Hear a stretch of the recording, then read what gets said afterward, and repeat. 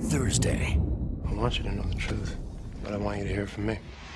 The victims of his past Did you hear that? You cannot run from a vampire. I knew I was about to die. are the family of the woman he loves. It sounds like you were a monster. I was. Who wants to die next? The battle he must fight. Forget it, Damon. It's a suicide mission to kill Elijah. You can't do it. Guess who's coming to dinner? is a war he cannot win. Good evening. Damon is planning on killing Elijah. What? It's a bad idea. If you kill Elijah, then I'm stuck in here forever. Sucks for you. This is for your own good. If you so much as make a move to cross me, I'll kill you and I'll kill everyone in this house. What's that? Dessert. The Vampire Diaries, all new, this Thursday at 8, 7 central on the CW.